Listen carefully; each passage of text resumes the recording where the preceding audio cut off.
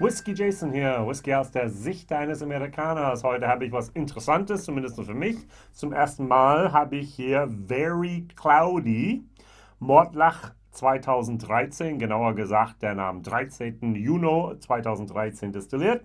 Das ist die Unchilled Filtered Collection Single Malt Scotch Whisky. Natural Color ohne Kältefiltration. Und diese Flasche wurde am 6. November 2020 abgefüllt. 34,99 Euro. Ein sieben Jahre alter Mordlach mit 40 Prozent, wie ich gesagt habe. Zwei Hogsheads wurden vermehlt ein ähm, Nummer 803513 und 803516.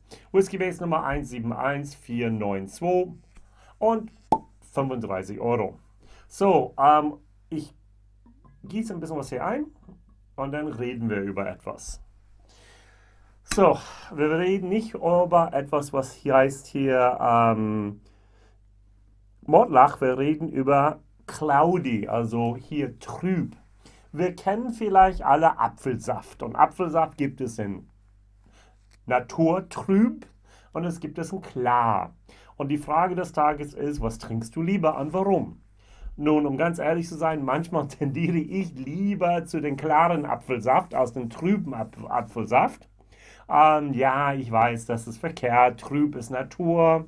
Ähm, was man macht beim Trüb ist, man nimmt es durch den Filter hindurch und dass es klar bleibt und ähm, ein bisschen von den ursprünglichen Geschmack, einiges von dieses ähm, äh, Fatty Acids, diese Fettsäuren, dann werden zurückgehalten und äh, man verliert ein bisschen Geschmack. Kennen wir zum, zum Beispiel bei Apfelsaft.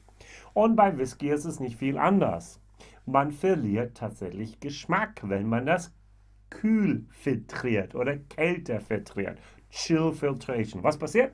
Man nimmt ein Whisky, man nimmt das dann irgendwo zwischen 3 und 0 Grad und da werden einfach mal, egal wie stark dieser Whisky ist, ob es 60% ist oder ob es dann 40% ist, werden dann dort tatsächlich ein Teil von diesen äh, Fettsäuren da drin ein bisschen eher, die sind alkohollöslich, aber je kälter es wird, umso mehr ähm, wird jetzt hier diese Dinge dann fest, also trüb und dann filtert man sich einfach raus. Man hat eine Art verschiedene Schichten, ob das jetzt hier gemessen ist in Mikron, äh, Mikromillimeter ähm, oder ob man einfach mal einen Stoff oder ob man wie auch immer das so macht. Manche Leute, Black Adder zum Beispiel, das ist eine unabhängige Abfüller, die nehmen tatsächlich etwas wie ein, ähm, ich, ich, nenne es einfach Maschendrahtzaun. Ja, also da kommen Klumpen, die einfach ungefähr so groß sind, immer noch durch. Und andere Leute nehmen tatsächlich eher wie ein Kaffeefilter, nicht identisch, aber so ähnlich. Und da wird fast alles, was irgendwie da wäre, einfach rausfiltriert. Was macht Signature Vintage mit uns? Sie erlauben uns einfach ein Whisky in Natural Zustand, naturtrüb zu erleben, allerdings bei 40 Prozent. Wenn man am ähm, Wodka, nenne ich es ganz wichtig, einfach mal dazu kippen würde, man würde den Alkohol wieder auf 46% hochbringen. Also würde jetzt dieser Trübfaktor aufhören, weil es ist genau eben dieses Moment, wenn es unter 46% ist, kann tatsächlich hier diese Trübung passieren. Dieses Fettsäuren können dann sich dann finden. Und wenn es über 46 Prozent ist, dann ist es so, dass tatsächlich der Alkohol diese Fettsäuren auflöst und dann sind die nicht mehr trüb. Und je mehr Wasser man reintut, ähm, umso mehr passiert, dass es ähm, laut, laut ähm, Ralfi, äh, Ralfi.com, ähm, der Urgroßvater von uns Whisky-Tuber, dass es tatsächlich dieses Irish or Scottish Mist gibt. Also ein schottischer Nebel. Und das ist das, was hier ist. Die versuchen uns ganz bewusst einfach diese trüb trübe Momente hier. Ein Moment, ich versuche mal ein Blatt Papier zu finden für uns. Und ihr könnt das vielleicht hier sehen, dass es nicht ganz so klar ist wie immer. Ähm, das ist ein bisschen trüb. Und es sieht auch tatsächlich ein bisschen trüb aus. Wenn ich hier diese, ich mache einfach mal hier den Test of Example hier. Wenn ich einfach mal diese beiden nebeneinander, da kannst du es ein bisschen besser sehen. Und wenn es ein bisschen Schriftzug gebe, ich mache ein Foto dahinter, die habe ich noch hier. Also, ähm, ja, genau. Also da merkt man hier, es ist dann sehr, sehr scharf und hier auf dieser Seite ist ein bisschen trüb. Auch wenn ich so mache, dann könnt ihr es immer noch merken, dass das einfach da durchkommt. Ja? Also das ist nicht kältefiltriert, das ist einfach 63, sorry, 3, nee, 58 Prozent und damit ist es dann, ähm, braucht es keine Kältefiltration. So, ähm, wir als Freaks wollen natürlich, also Glenn Dronach und Glenn, ähm, ähm, Glenn Grassau und auch Ben Riach einfach mal, dass sie bleiben, wie sie mal waren unter der Regie von Billy Walker, nämlich ähm, Non-Chilled Filtered and Natural Color. Und Brown Foreman, diese böse, böse Amerikaner, die John Dan Jack Daniels so machen und ein paar andere Sachen, ähm, haben gesagt, nein, unser Zielmarkt ist nicht die Geeks da draußen, sondern sind die Asiaten da draußen. Und die Asiaten würden gerne tatsächlich zum größten Teil kühl vertrierte Whisky haben wollen, weil sie nicht ein Glencairn nehmen und einfach pur trinken wie wir, sondern die tun Eis da rein und die wollen tatsächlich nicht 46, 48 oder sonst was haben, sondern die sind häufig da mit den 40 bis 43 Prozent einfach mehr, mehr aus. Ja, es gibt dort Ausnahmen, aber wir Whisky-Geeks sind eindeutig jetzt hier in der Minderheit, wenn es darum geht, Whisky zu kaufen. Vergiss nicht, dass bis heute immer noch 80 Prozent aller Whisky in Schottland, hergestellt wird, ist ein Blended Whisky. Und wer von euch hat außer Johnny Walker oder ein White Heather oder vielleicht eine Berry Brothers Rudd oder Campbellton ein Blended Whisky mal gekauft in den letzten Jahren? Natürlich wahrscheinlich nicht so oft. Wir haben dafür vielleicht zehn oder noch Flaschen im letzten zwölf Monate vom Single Malt gekauft. Und wir gehören eindeutig zu einer Minderheit und wir werden ähm, ab und zu mal gehört, aber nicht wirklich, wirklich, wirklich. Okay. Gut, Mordlach finde ich gut. Also die meisten Mordlachs, die ich habe, finde ich sehr, sehr, sehr gut. Und lass uns hier schauen, was denn da einfach alles auf sich hat. Ich muss ganz ehrlich sagen, irgendwie die Dose finde ich hier ähm, nicht mehr zeitgemäß. Keine Ahnung. Ich denke immer Transylvania, wenn ich so die Schriftzüge hier sehe. Mordlach 2013, very cloudy hier mit 40 Prozent. Naja, kann man machen, muss man nicht machen. Ja, ich rieche daran, vielleicht hole ich einen ähm, Vergleichswhisky raus, wahrscheinlich nicht. Ich habe die meiste Zeit damit einfach verbracht, einfach uns nahe zu bringen, warum trübt da so ein Whisky ein und wieso ist es so wichtig für uns, dass es dann einfach ein, ein Non-Chilled Filter draufsteht, weil der Geschmackserlebnis damit steigt dann jedes Mal, wenn man etwas wegnimmt, fehlt was. Fehlt was an Geschmacksträger, fehlt was an Geschmack, fehlt was an einfach mal verschiedene Substanzen, die eigentlich hätte drin sein sollen. Gut. Bei Mordlach kriege ich immer eine leicht noch nicht reife Ananas. Ein bisschen Teig, Brotteig, Vollkornbrotteig.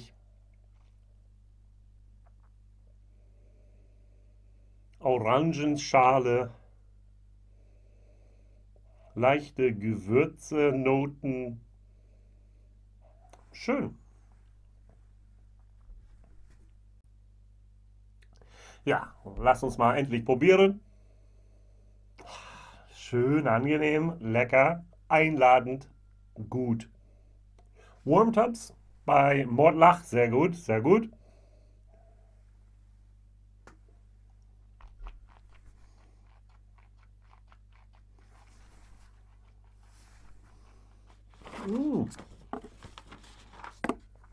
Also sieben Jahre alt, ja, mhm. also 40 Prozent, der wirkt jung. Äh, grüner Apfel, der noch, nicht, noch lange noch nicht reif ist. Da ist ein Barrel Char Moment. Ähm, einige Leute, oder es war eine Person auf jeden Fall, der bei Whiskey Base geschrieben hat, hat man hier Rauch identifiziert. Ich glaube, das ist kein Rauch. Ähm, das war nicht mit rauchiger Gerste gemacht. Das ist keine Phenolen, die von Torf kommt, sondern das ist für mich eindeutig eine identifizierbare ähm, Barrel Char für mich. Ich kann natürlich daneben liegen, aber das ist, was ich hier habe. Ähm, das ist ein Whisky, äh, mit dem ich, glaube ich, nicht unbedingt gerne im Sommer das denn verbringen würde. Es gab Mordlachs, die einfach göttlich waren. Und es gibt Mordlachs, die einfach mal ein bisschen so, nee, nee, muss nicht sein, sind. Und das ist so ein bisschen für mich eine, äh, muss nicht sein, Whisky. Okay, jetzt rieche ich sogar ein Barrel Char Moment, finde ich. Wow. Ich frage mich immer wieder, wenn man 8, 0, 3, 5 und dann 1, 3 und 1, 6 zusammenmixt, was ist mit ähm, 1, 4 und 1, 5 passiert? Warum hat man die nicht genommen? Waren die viel, viel besser? Waren sie viel, viel schlechter? Welche Auswahlkriterien hätte ich aus äh, Master Blender, Master, was auch immer denn da ähm, gehabt, um einfach mal die Fässern auszuwählen für ein Very Cloudy? Ähm, und warum muss man jetzt schon auf sieben Jahre alte, alte, äh, nur sieben Jahre alt gereifte Whisky zurückgreifen, wenn es eindeutig, zumindest für mich, ähm, nicht da ist, nicht gereift ist, nicht da, wo es sein kann.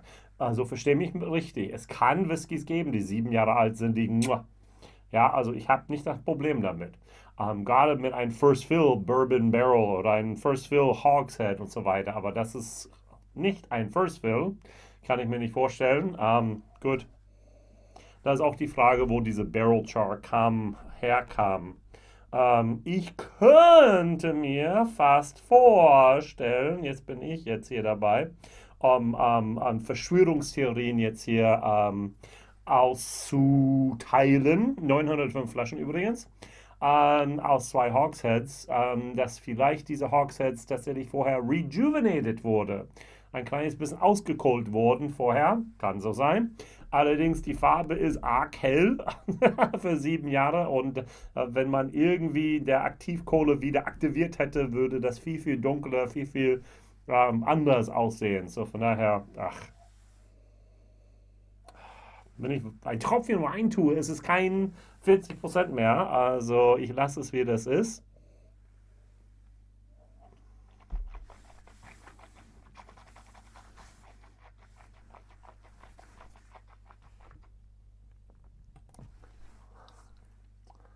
Also der hat echt richtige Biss. Also der hat schon ein ganz schön viel Alkohol, finde ich, Schärfe, Pfeffer und so weiter. Ähm, ein bisschen herb, ein bisschen nussig. Ein bisschen, weiß ich nicht, ob das feuchte Erde ist, ein bisschen Waldboden. Ah, ja, genau, das ist der, genau den gleichen Geschmack, den ich hatte bei der Signature Vintage ähm, Small Cask Edition Number One von Kirsch, wo es auch ein Fassstärke war. Der hat auch genau eben diese Geschmacksnote gehabt. Ein Moment. Ja, ich habe eine Idee. Ich werde einfach mal das vergleichen. Falls ich daran denke, dieses Foto hier reinzuschenken. Ich habe noch mein Sample hier. Also, was wir haben, ist tatsächlich Mordlach acht Jahre alt. Hier haben wir sieben Jahre alt. Das war 2012 bis 2020. So, Small Batch Edition Cast Strength Number One. Das war der wichtigste Begriff dabei. Das ist Whiskey Base Nummer 175. Äh, 484. Und das ist hier tatsächlich 59,9%. So, wenn ich das sozusagen auf ähm, 40% reduzieren würde, zuerst müsste ein bisschen hier Trübheit reinkommen. Also, ähm, schauen wir mal, ob es trüb geworden ist ein bisschen. Vielleicht könnt ihr sehen, dass es tatsächlich nicht ganz so klar ist, sondern es ist eine Trübung. Da tue ich jetzt hier unsere sieben Jahre alte Amortlach dagegen mit 40%. Das sollte auch ein bisschen Trübung sein. Uh, ich habe mir ein bisschen viel gegeben. Und schauen wir mal, hier, hier, also tatsächlich, der, der, die sind beide ein bisschen trüb, wobei der ähm, Cast Strength ist am trübsten. Keine, keine Ahnung, ob das ein richtiges Wort ist.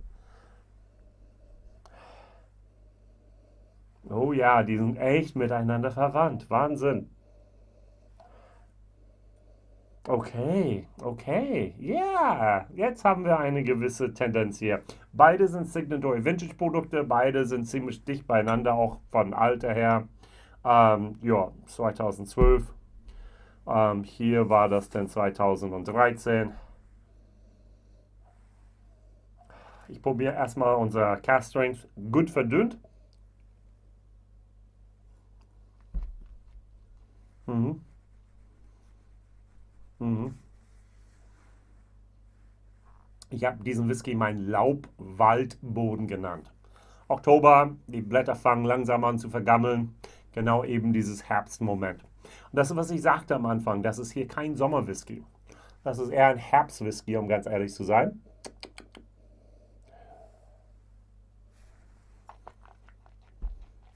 Hm. Der Achtjährige ist runder. Der Alkohol ist besser eingebunden. Der ist ein bisschen schärfer, der ist ein bisschen kantiger, der ist ein bisschen bissiger, ein bisschen metallischer, ein bisschen schärfer.